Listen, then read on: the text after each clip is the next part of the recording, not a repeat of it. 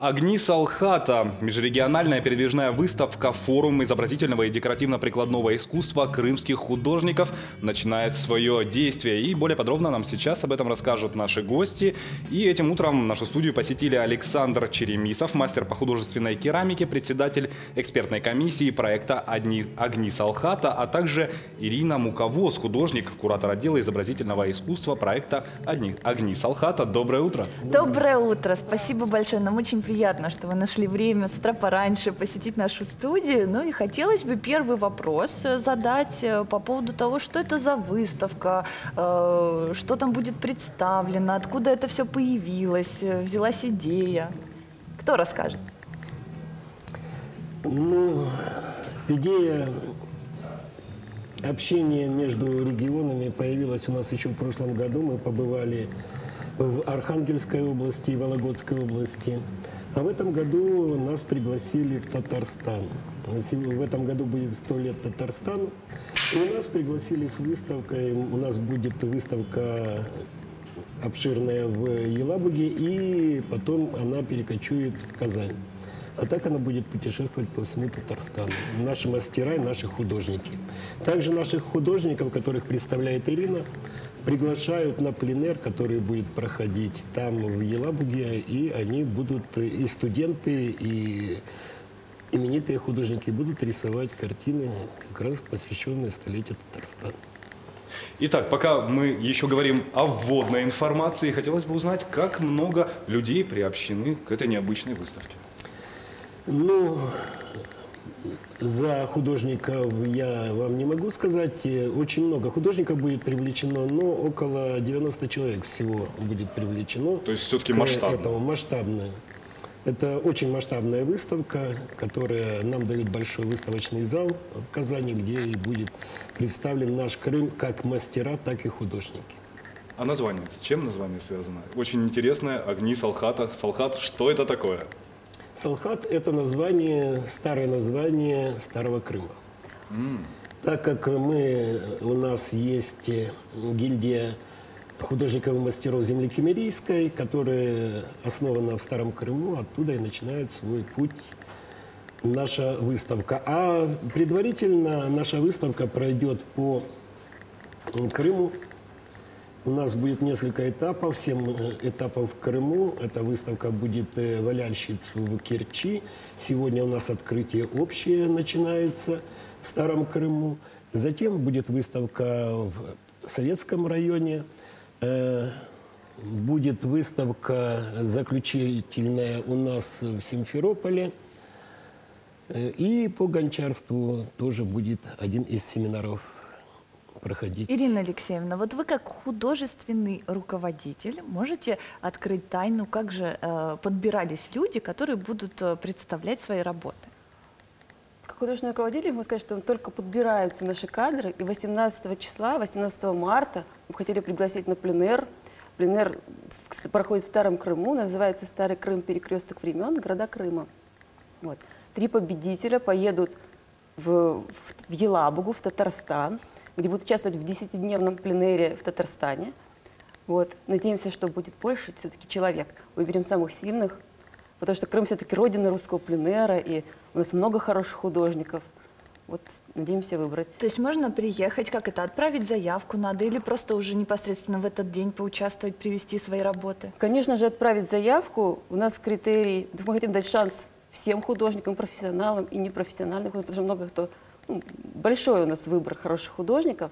Главное, чтобы было 18 лет, отправляется заявка, и уже будет конкурс. Он будет проходить, ну, как я уже сказала, в Старом Крыму, его окрестностях, и выставка. То есть в заявку не надо прилагать, например, фотографии своих работ, просто э, отправить печатный текст, да, и там уже... На... Нет, фотографию надо, потому что угу. художник должен быть пишущий, художник должен быть, который как в профессии. портфолио, да? Да, как, угу. как портфолио. И Но так. оценивать вы будете, насколько я понимаю, именно ту картину, которая будет написана во время пленера. Да, конечно. Это, ага. это отличная новость. Еще, оказывается, можно успеть э, проявить себя, принять участие в таком необычайно интересном мероприятии. Поэтому, Оль, а надо вот, начинать рисовать. А мне вот интересно, сколько времени дается? Времени дается два часа. Два часа на картину? На этюд. На этюд. На этюд. А, и полет фантазии абсолютно разнообразный и неограниченный. Нет, выбер... расскажется презентация будет Старого Крыма, расскажут о местах каких-то красивых, культурных. Вот, И- каждый выберет Ага. себе. Вот, и как бы уже будут с натуры писать художники. Это Хорошо. здорово. А, На что судьи будут обращать э, главное внимание? По каким критериям будут определять победителей? Судьи будут... Ну, вы, да, из- скажем нет, так. Нет, нет, нет, нет, нет, нет, нет. Только организаторы будут искусствоведы. Искусствоведы. Мы пригласили искусствоведов, приглашенных, компетентных э, судей, поэтому Крыма, да, мы учебные мастера, кто мы такие, чтобы судить? Поэтому это должны судить люди компетентные, которые Соберется комиссия, которая будет оценивать и эти работы, и будет, соберется комиссия, которая отдельно будет оценивать работы мастеров э, декоративно-прикладного искусства. Мне кажется, что самое так что главное можете в этом... заняться еще декоративно-прикладным искусством, вы не опоздаете. У нас в конце, только в мае, будет проходить э, жюри, отбор работ, которые поедут туда. Александр Иванович, спасибо за приглашение. Я теперь точно об этом подумаю. Но мне кажется, что если э, критерии э, оценки эм, не, не ясны, да, то есть э, искусствовед он будет ориентироваться на свои ощущения, то человеку, который будет принимать участие в этом конкурсе, надо будет опираться на свои чувства и просто искренне да, это делать, э, даже, может быть, э, проявить харизму и свой талант выплеснуть на холст. Это же на, хол- на холсте будет? Ну, на холсте, я думаю, что, может быть, будет акварель у кого-то. Посмотрим. Мы еще, мы еще ждем гостей. Де- вот я же говорю, на 10 дней поедут победители в Елабугу, приму- примут выс- Участие. участие, выставке. примут участие, конечно, в выставке, посвященной столетию Республики Татарстан. Это будет большая выставка. Вот. Будет принимающая сторона оплачивает прожи- проживание и питание, а Министерство Республики Крым организует нам фуру большую, которую повезут работы, обратно их можно забрать. И А, Кстати, это тоже очень важный момент. Картины, работы, они же должны перевозиться при особых условиях, да? Их надо как-то во что-то заворачивать, возможно, или это не имеет никакого Ну, Вы значения? знаете, э, факт тот, что нам на выставку придется вести, можете представить себе, больше тонны. Ничего себе. Больше всех предметов, тонны? э, потому что это керамика, извините, она тяжелая.